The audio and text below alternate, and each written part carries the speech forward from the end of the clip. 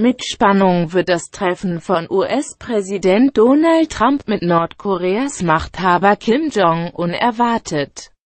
Nun gibt es einen konkreten Termin, die beiden sollen sich Mitte Juni in Singapur begegnen. Twittert der US-Staatschef. Das geplante Gipfeltreffen zwischen US-Präsident Donald Trump und Nordkoreas Machthaber Kim Jong-un soll am 12. Juni in Singapur stattfinden. Das gab Trump in Washington über Twitter bekannt. Wir werden beide versuchen, daraus einen besonderen Augenblick für den Weltfrieden zu machen, erklärte Trump. Trump hatte Stunden zuvor gemeinsam mit Vizepräsident Mike Pence drei US-Bürger in Empfang genommen, die in Nordkorea inhaftiert waren. Sie waren zusammen mit Außenminister Mike Pompeo, der in Nordkorea mit Kim an den Vorbereitungen des Gipfeltreffens gearbeitet hatte, ausgereist. Der Gipfel der beiden Politiker gilt als historisch.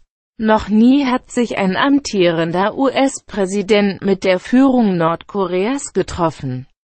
2009 war Ex-Präsident Bill Clinton im Auftrag der Regierung von US-Präsident Barack Obama nach Pyongyang gereist.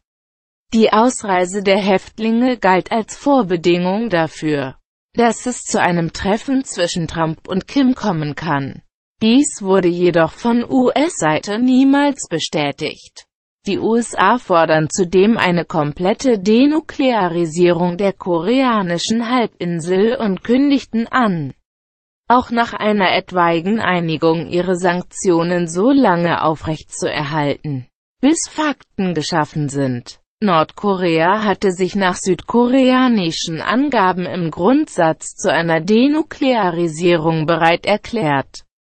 Allerdings befürchten Beobachter, die Definition dieses bewusst unscharf gehaltenen Begriffes könnte auf beiden Seiten unterschiedlich ausfallen.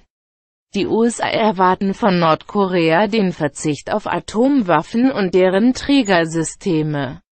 Kim hatte das geplante Gipfeltreffen zuvor als historische Chance bezeichnet. Es handele sich um ein historisches Treffen und einen großartigen ersten Schritt sagte Kim bei seinem Treffen mit US-Außenminister Mike Pompeo in Pyongyang. Wie die staatliche Nachrichtenagentur KCNA berichtete, der Gipfel mit Trump werde helfen, die Situation auf der koreanischen Halbinsel zu verbessern und eine gute Zukunft zu schaffen, sagte Kim demnach weiter. Die südkoreanische Nachrichtenagentur Yonhap berichtete, es sei offenbar das erste Mal gewesen, dass sich Kim zu dem geplanten Treffen mit Trump äußerte. Quelle NTV. De